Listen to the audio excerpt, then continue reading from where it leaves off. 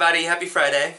Um, today I wanted to talk about the difference between uh, anxiety attacks and panic attacks. Um, I've been suffering from panic attacks for a while and I have the kind that just kind of comes out of nowhere. Um, I've had anxiety attacks but they're nowhere as bad for me as panic attacks are. So, I'm going to tell you the difference. So with the anxiety attack, um, the symptoms are, um, you know, irritability, um, dizziness, hard to catch your breath, restlessness, hard to sleep, um, the fear of doom or danger, and simply, you know, just having a hard time catching your breath. And anxiety attacks can build up over time, um, even months. And that's the reason why those are completely different with like the panic attacks because panic attacks are more like you know either expected or unexpected but not over time. So like with anxiety you can be set off in different ways such as um, going to a neighborhood that you're not used to walking around at night you know there that feeling of danger could be there or like me going over to a friend's house that has like a dog. Um, I've been attacked by dogs earlier in my life and I kind of like have this feeling that I don't really want to be around them like kind of you know anxiety. So when you know I talk to somebody and they're expecting me to be over and I'm like look you have a dog so can we like have the dog outside? Don't worry the dog's really friendly. And that's fine because that's what you know of that dog but me with my past history with dogs um, kind of makes it where it's like okay, that's fine that your dog is cool with you, but I don't know the dog, and my anxiety flares up. So, you know. Again, I'm more prone to um, panic attacks than I am anxiety attacks.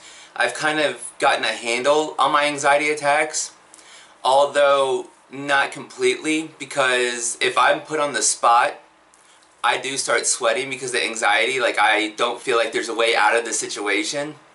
So I feel like that I'm stuck. So with like the panic attacks, the symptoms often like involve like chest pains, um, excessive sweating, um, heart palpitations, uh, the feeling of like you can't breathe or you're being choked, um, the fear of death, um, de derealization, depersonalization. Um, again, also with like panic attacks that they can come on unexpected or they are expected. Um, like the unexpected ones could be like you're at work and all of a sudden you see yourself in a reflection and all of a sudden you have dysphoria and then all of a sudden like everything feels like it's going wrong and then you're just worried about like how you look and then all this other stuff and then you start thinking about it too much and then it just weighs you down. It does. It just tears you down and then you just want to cry. That's I've had that before. Like I, I've been at work and this actually happened this week where I felt fearful. Um, I was in a situation, it wasn't anything bad. Um, it was nobody else's fault. It was nothing that was any problem or caused by anybody or situation. It was just, it started out with a simple look in the reflection of a mirror and I started getting into my own head about what was, you know, wrong with me. Uh, then, you know, I started feeling heart palpitations. Uh, then I started worrying about the heart palpitations because I also have a vitamin D deficiency that I'm still working on to improve. But because my deficiency, sometimes I can get um, heart palpitations. So that made me freak out even more. So I was already like in this mood of like freaking out and then I started like sweating which I hate when I sweat because I do excessive sweat sometimes because my anxiety and panic. So it was just a whole situation that I brought down on myself because then I got in my own head about my own thoughts and then I started freaking out because I have issues, not only like issues like, you know, but actual issues issues going on. So I brought it on myself and it was so terrible. And, but like I'm getting better at controlling it or dealing with it because I guess you can't really control it 100%. But I really do feel like I'm getting better with it. But let's go back. Um, it came on and I didn't know what to do, but I did handle it better than what I normally do. And that was the good thing. So in that situation that I just described, it was expected because I felt it happening and then I started thinking about it and then with my heart palpitations I started believing that it was a panic attack. And they are terrible.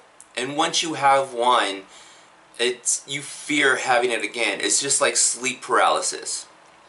Um, when I had sleep paralysis I freaked out for like two weeks straight. Like I do not want to have them anymore you know. I cried, I was scared, I was worried about having them. I had all my lights on in my apartment because I just, I couldn't bring myself to deal with having another sleep paralysis problem. Just like when, like, I guess I carry that with myself when I'm at work or out in public. The fear of having a panic attack in front of others because it's not fun. It's, it's something that I could, if I feel it coming on, I can talk myself, calm myself down, focus on my breathing, calm myself down, but sometimes in some situations it hits so hard and so fast that it does make you fall apart. It's terrible. So like I do have a fear of having more panic attacks over and over again and especially in situations that I don't want to have them in but I have been getting better at controlling them. Not 100%. I don't think that you can control them 100%. Just like any other fear, I don't think that you can control it 100%. Having a fear of a panic attack again can cause you to have agoraphobia, which can make you avoid like situations or places where there's other people or like crowds or waiting in line for stuff or or like small areas where you feel like you're confined to that one little area, you know, that can that can make you start going to, towards a panic attack. And I also have this, you know, problem with um, embarrassment because my past and those thoughts that I carry from my past, like I still carry those with my panic attacks. So that fear of being embarrassed also adds to that factor. But, you know, back to agoraphobia, you know, feeling help helpless, you know, stuck in a situation, just feeling uncomfortable all around is kind of like a high point of it.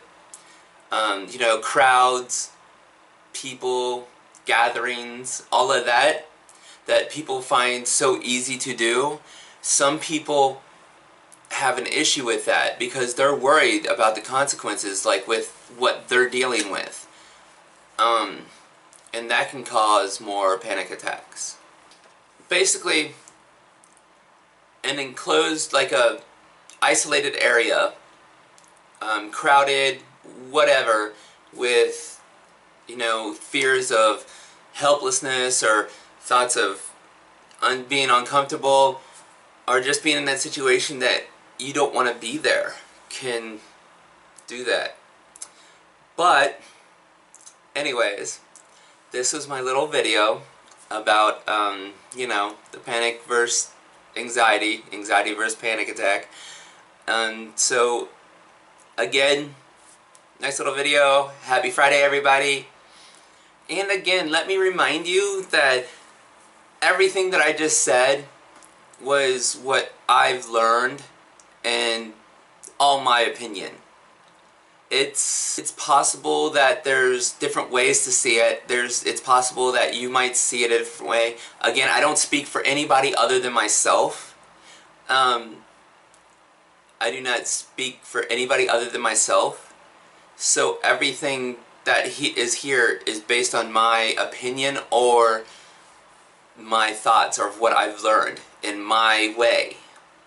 So with that, everybody enjoy their weekend and um, be safe and please do the two things like, share, subscribe, comment you know, do all the things for me. And I will see you next time. Don't forget to check out my Twitch. Bye.